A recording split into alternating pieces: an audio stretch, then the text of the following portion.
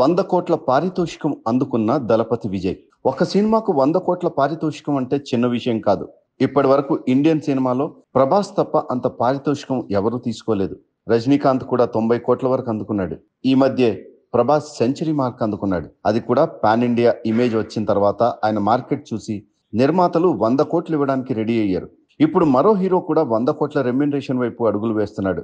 ఆయన మరెవరో కాదు. Tamil star hero Vijay. వరుస విజయాలతో దూసుకుపోతున్న ఈయన పారితోషికం కూడా ఇప్పుడు ఎవరెస్ట్ ఎక్కేసిందని వార్తలు వినిపిస్తున్నాయి.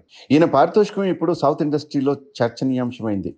తాజాగా సన్ పిక్చర్స్ నిర్మాణంలో నెల్సన్ దిలీప్ కుమార్ దర్శకత్వంలో ఓ సినిమా చేస్తున్నాడు ఈయన. దీనికి ఎనభై కోట్ల వరకు పారితోషికం అందుకుంటున్నట్టు తెలుస్తోంది. గత కొన్నేళ్ళుగా విజయ్ సినిమాలు వరుసగా విజయం సాధిస్తున్నాయి. తేరి మర్సల్ బిగిల్ సర్కార్ మాస్టర్ ఇలా ఒకదాన్ని మించి మరో సినిమా సంచలన వసూళ్ళు సాధిస్తున్నాయి. తెలుగులోనూ ఈ సినిమాలన్నీ మంచి విజయాలు అందుకున్నాయి. దాంతో ఇప్పుడు రెండు ఇండస్ట్రీల్లో మంచి మార్కెట్ వచ్చేసింది. దాంతో విజయ్కు వంద కోట్ల రెమ్యునరేషన్ ఇవ్వడానికి నిర్మాతలు కూడా రెడీగానే ఉన్నారు. ఈయన సినిమాలు దాదాపు మూడు వందల కోట్ల వరకు బిజినెస్ చేస్తున్నాయి.